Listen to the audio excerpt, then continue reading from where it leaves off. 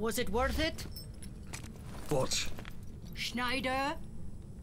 The daughter? Yes. Although it's not good news. The Hades division has built a weapon that is capable of destroying the planet. According to the data, they've been working on it for months. It's already operational. The deterrent effect of that weapon is all General Croucher needs to win this war. Not necessarily.